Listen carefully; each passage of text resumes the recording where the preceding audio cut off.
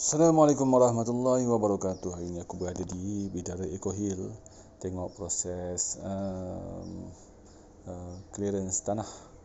Okey, bahagian atas ini dah selesai. Tinggal sejemput je ke bawah tu.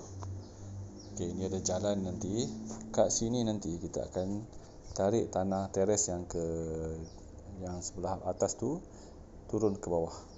So, kita akan dapat satu teres yang lebar lah nanti kawasan tu. Okey, ni jalan dia. Sini aku dah minta uh, driver excavator ni sini untuk So, okey kat bawahnya je tanaman durian nanti. Insya-Allah insya-Allah.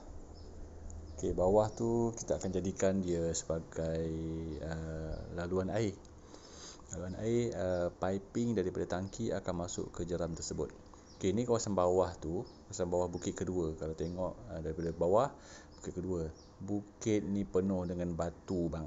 Penuh dengan batu. Aku tak tahu nak buat apa ni. Uh, aku tak tahu lah boleh tanam ke tidak. Aku bukannya pandai sangat bertani sebenarnya. Baru nak belajar-belajar hmm tak tahu lah tapi tengok tanah ni macam subur kata cikgu Zabidi yang pasang pagar tu. Kata tanah ni cantik dia kata. Top soil dia bagus.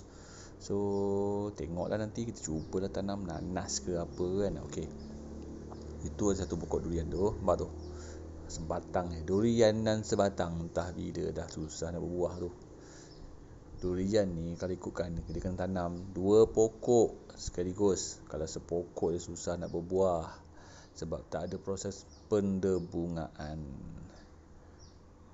Okey, ada sikit-sikit lagi rumput dekat atas tu kita kena clearkan. Ya, tengok jalan dia berbatu ke. Macam mana jalan dah.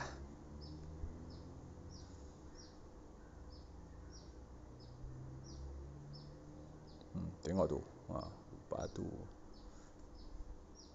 Kalau ada bajet nanti aku akan uh, pasang batu uh, simen konkrit sebelum tu kita taruh uh, BLC uh, besi-besi yang petak-petak tu lah sebelum jadi jalan dekat sini.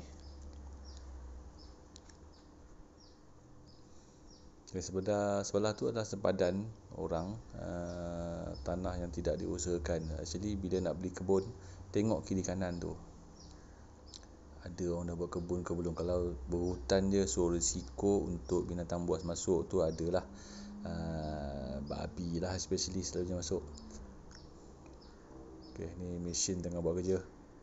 Tengok dia buat kerja. Masya Allah asap dia pencemaran udara ni.